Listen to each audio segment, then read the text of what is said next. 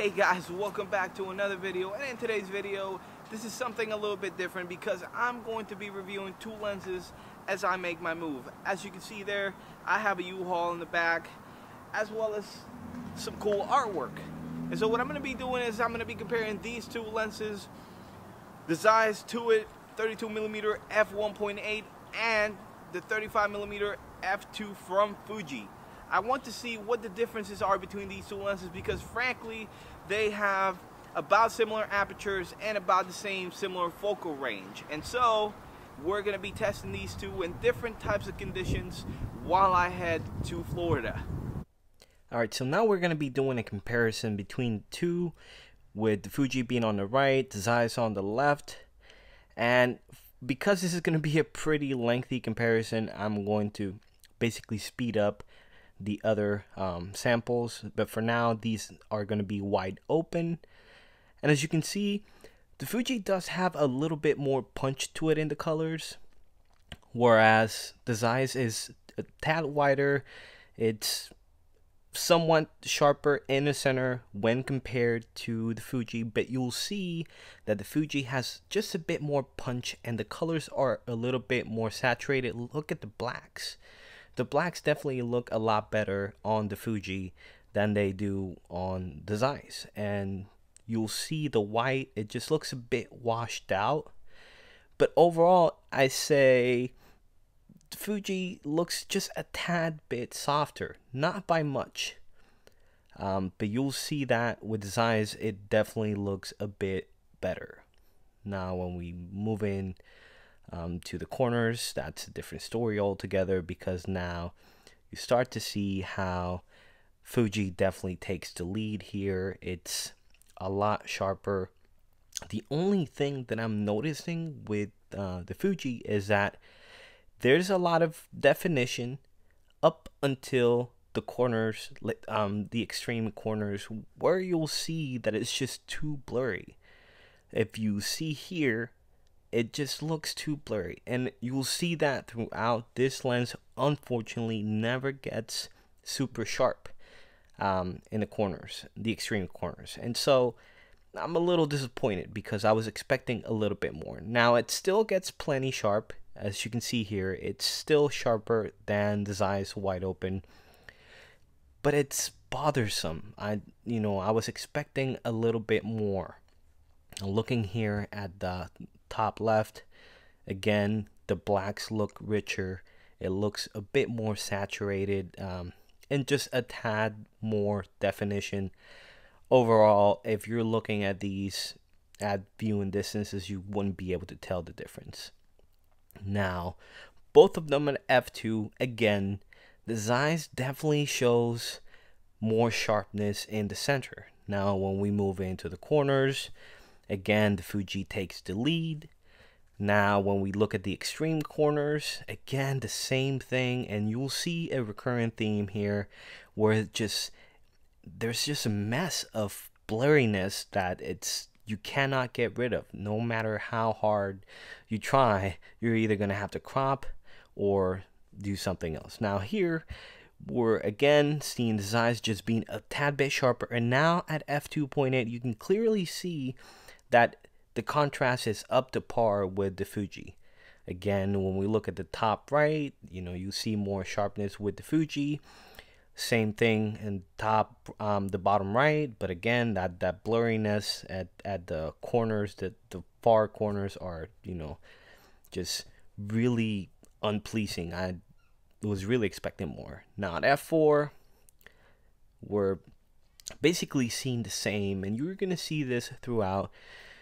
Fuji is just a tad bit softer in the center than uh, the Zeiss, but the Fuji definitely has a bit more punch when it comes to the colors. Um, then when we go to the corners, again, Fuji takes the lead here. It's a bit sharper. It has um, more detail to it, except in the extreme corners where you'll see again, it's just blurry and I don't know what that is. I, I wish that you know Fuji would have either made the lens slightly bigger to accommodate for the glass because I would have much rather had a tiny bit bigger lens that gives me edge to edge sharpness and overall just excellent performance. Now it's fairly sharp and I guess for what you're paying, you also have to keep in mind that you're not going to get the best highest quality lens. Again, now when we're looking at these two, this is the same uh, trend and it's going to continue to um, basically throughout the entire um, aperture range up until we get to the point where you start to see more diffraction with the Fuji, and that will be the only downside. But overall, just by looking at these, what do you guys think? If you were looking at these at normal viewing distances, would you be able to tell just by looking at them? I mean, of course, there is a slight difference in focal length because of Fuji is 35, which will give you roughly about a 52.5 millimeter field of view in 35 millimeter terms, whereas the would give you more of a 48. And believe it or not, if you're looking at these two, it's quite wider, even though it doesn't sound like much, it is wider. But you you'll see how you know they perform similar enough. I wouldn't be able to tell difference if I was just looking at them at normal viewing distances where you may start to notice differences is when you do large prints. And again, that's where Fuji would definitely do better. Now, you would still see that, you know, there's there's the blurriness in the corners and I honestly don't know why. I I think that they could have done better. I think that they could have done the lenses I mean, uh, manufactured the lenses slightly bigger to accommodate for that glass. It just make them a little bit more expensive. I'm certain that most of us would have paid that little extra to get that better performance because what's the point of having a small lens that is light to carry around but it's not going to give you you know edge to edge sharpness at f8 or f11 it's you know something that i'm not really impressed by Again, looking at these over here, there's just not much to see. I think that, you know, you, you're seeing just a tad bit, you know, they're they're narrowing the gap now. The only thing that I can see is the Zeiss, even though it's not as sharp, at the very least, you're still getting good results throughout the frame. Alright, so I'm currently recording on the Zeiss Touit uh, 32mm f1.8 and I have the 35 millimeter uh, f2 in my hand. Just want to see what the differences are uh, in terms of video so that you guys can also uh, get a chance to compare the two. What do you guys think when they're stopped down? Now I had to stop down this to about f16. Granted it was a different uh, background altogether, but right now this is only stopped down to about f10 and it seems to be properly exposed from what I can tell for just looking at uh, the screen. Uh, so what do you guys think? One thing that I did notice with the Zeiss was that it does make a small grinding noise. It's barely audible, but if you do get close to the camera, you will be able to hear it. Now, that being said, I haven't listened to the footage yet, and because I'm recording with an external mic, the Rode Video Mic uh, Micro, then that might have picked up the noise. I guess we'll find out when uh, when we listen to the footage.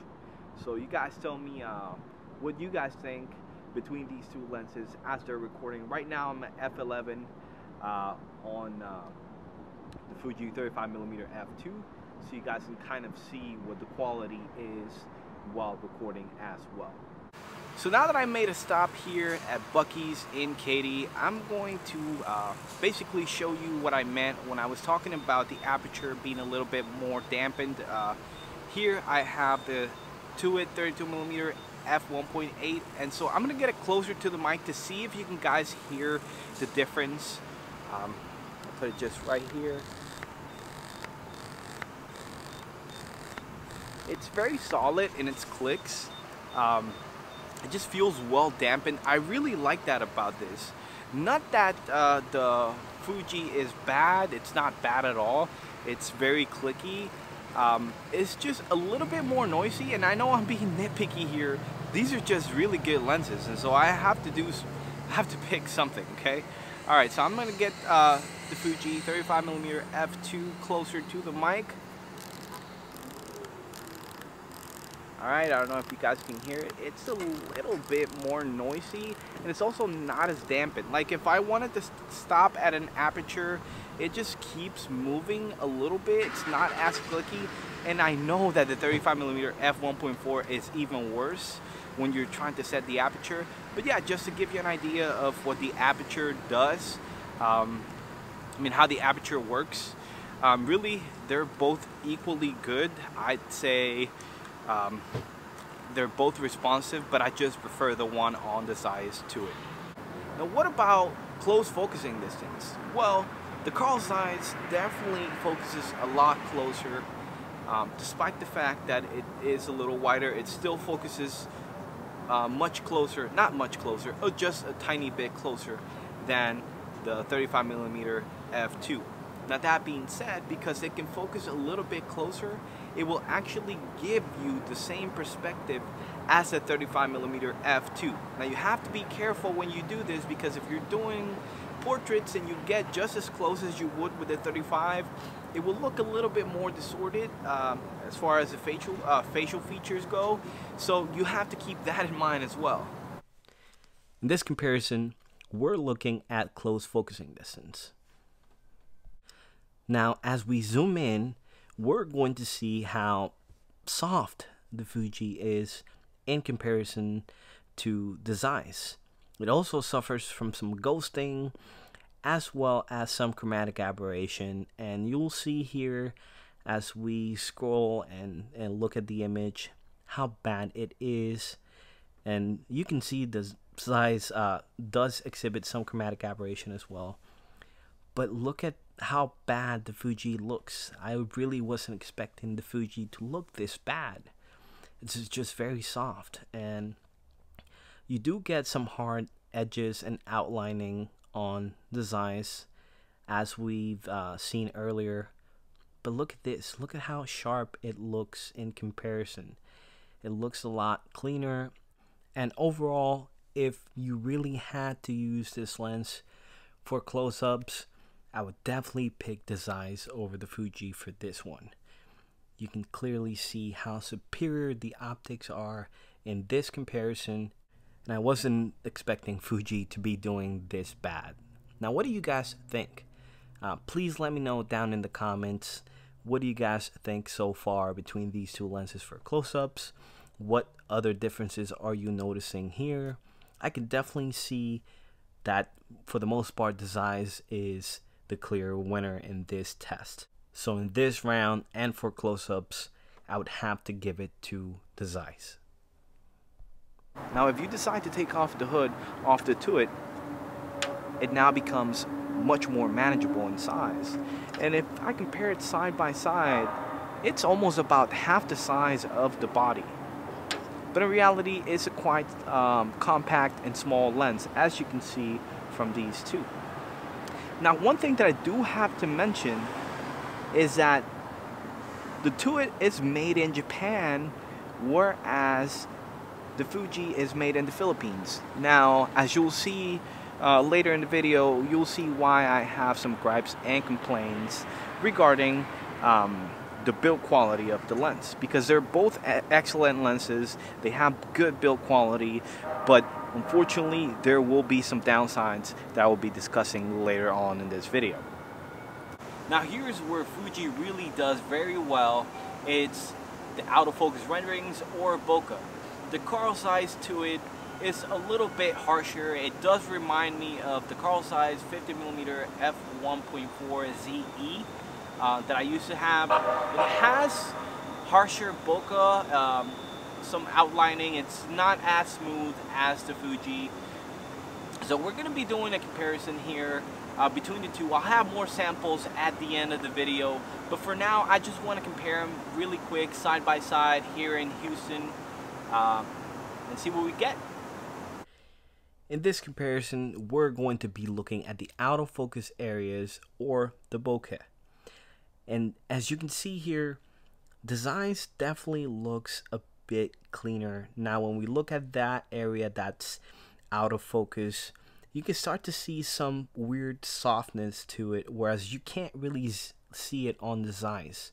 It's actually a lot cleaner. But when you look at the bokeh, it definitely looks like the Fuji is a lot smoother. Now, I would have to say that bokeh is definitely subjective, and there are some people out there who actually prefer the look of the Zeiss because it has a more classic vintage look. And like I mentioned earlier, it reminds me a lot of my Carl Zeiss um, 50mm 1.4 ZE. It definitely has that characteristic whereas the Fuji just looks very smooth and pleasing. But you have to compare them side by side to actually notice any differences. Over here, you see how the Fuji or the Zeiss definitely has some outlining that you can't see with the Fuji. It just looks a lot smoother. And you'll see this throughout if you compare them side by side.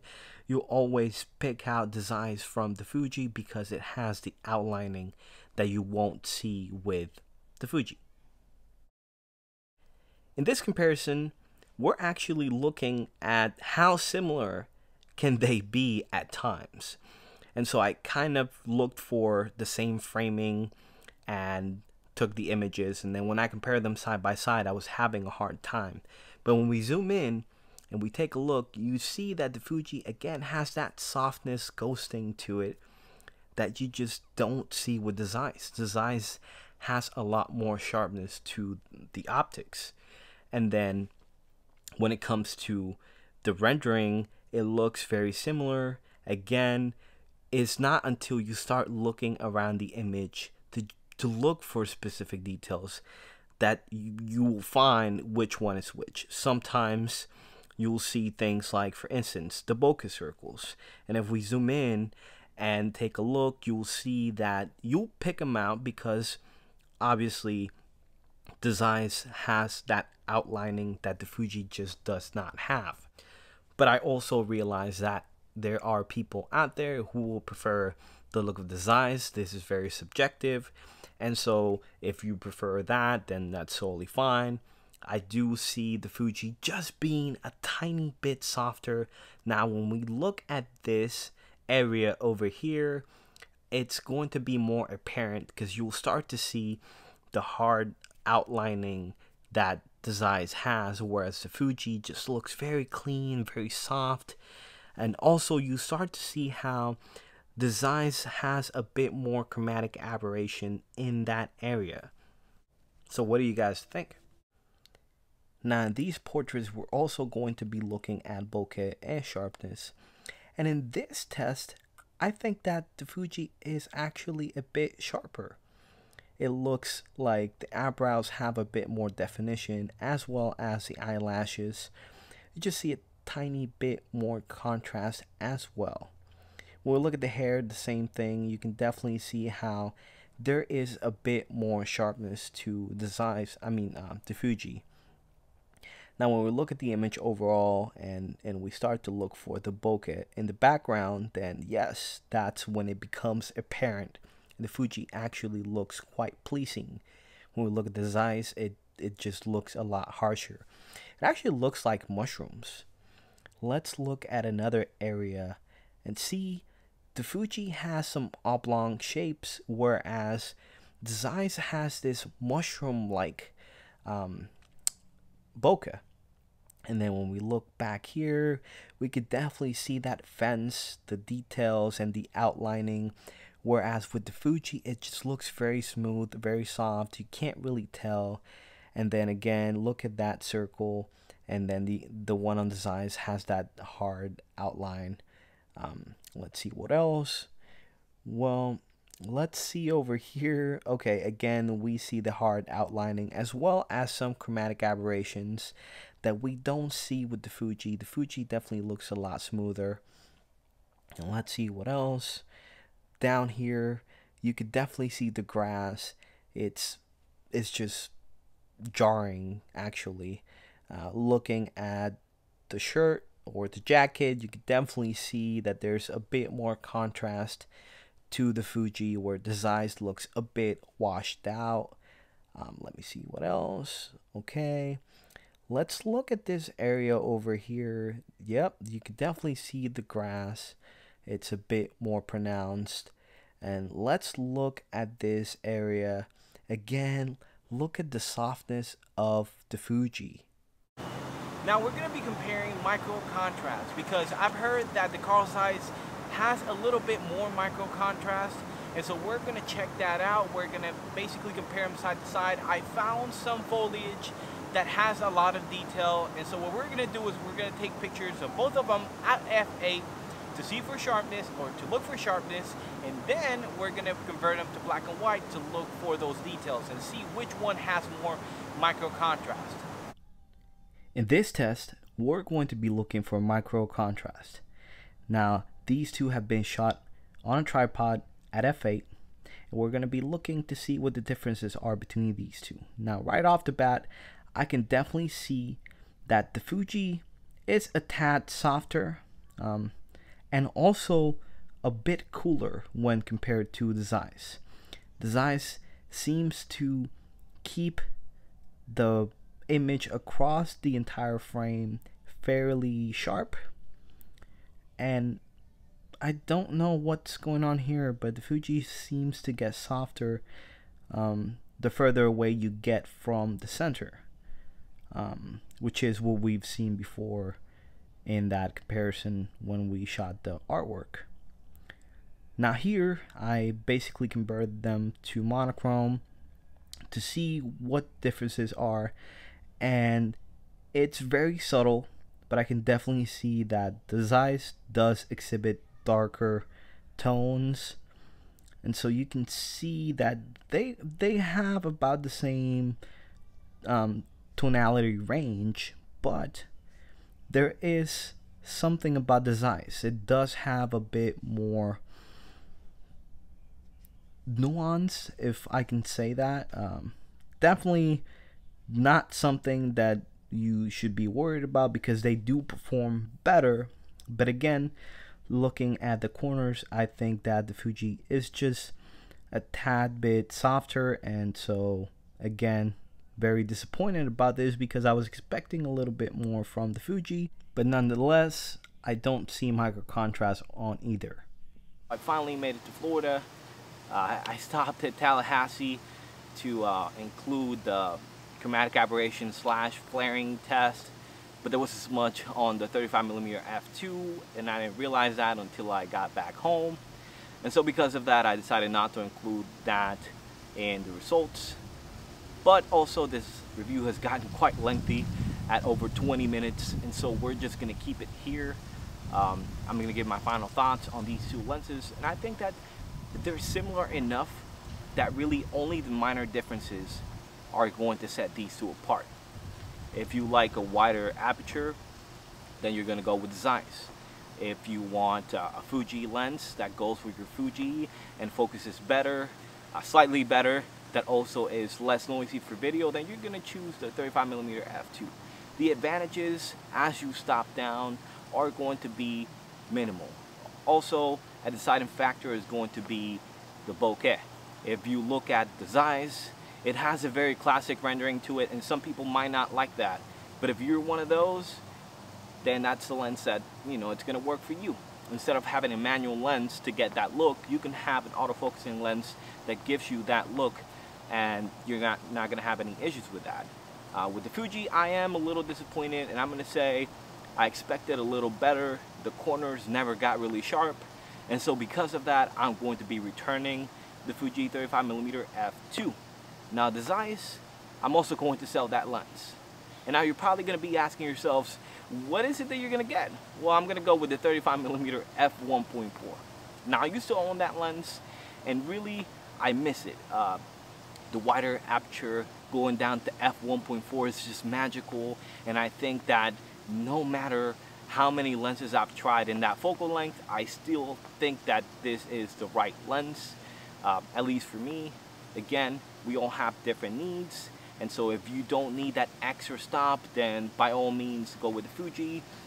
If you think that corners are going to be a, li a little bit important or just a tiny bit more important, then you go with the Zeiss. And if you want to spend a little bit more, then you go with the Fuji. The Fuji definitely gets sharp in the corners. I don't have it right now to do a side-by-side -side comparison and I would have loved to have that lens so that we could have tested all three, but it would have taken too, too long. And so we're just gonna leave it at that. Again, um, if you like what you see, please make sure that you subscribe. You, uh, this is gonna be a Fuji channel from now on, and I'm gonna start, you know, bringing more gear. I do have a lot of things to uh, to discuss, and we'll be going in depth, uh, basically going, um, looking at what lenses are available, what cameras are available that are going to fit your needs.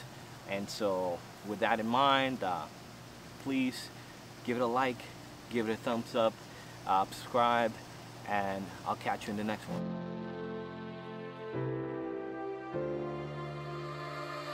Hit like if you like this video, also hit subscribe and the bell so you never miss a new video. Thanks for watching.